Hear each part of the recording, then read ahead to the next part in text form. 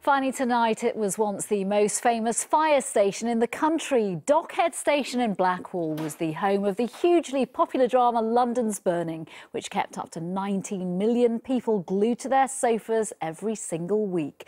Well, today the cast and the firefighters who appeared in the show as extras were reunited when the station, or rather its replacement, was reopened. Ronke Phillips has the story.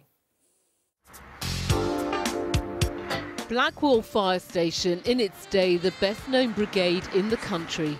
Hello, that's us. See you later, Bailey. The drama around the crew kept audiences gripped. Fire East London Tunnel. The set was the disused Dockhead Fire Station in Southwark, which was built in 1928. It's now been replaced with a state-of-the-art station on the same site, and old favourites from the cast were there for the opening. Look at the press photographer. Which one's the press?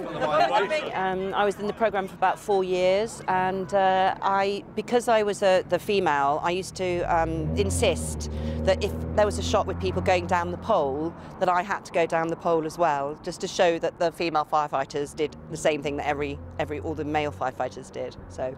That was one of the great things going down the pole. That's good fun. back up, Like all the actors, Sick Note was a much loved character. I love this. It was, a, it was a joy to be given the part, and it was fantastic. It was um, particularly because no one had ever tackled fire on TV before, and so that was the, the real big carrot, and that was the big fun thing. The news station is part of a private finance initiative which has seen nine London fire stations replaced by brand new buildings. It includes new vehicles, a four-storey tower for training, offices and a gym the fictional crew would be proud of. We didn't have any women's facilities on it. The uh, fire bays were too small for the fire engines and we couldn't do the amount of training we wanted to do. And most importantly, we had no facilities to bring the public into the station to invite them on to actually learn about the work of the fire service. And we've got all those things on this brand new fire station.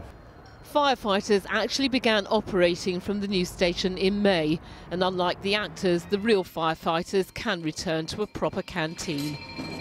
Ronke Phillips, ITV News. Isn't it nice to see them back? That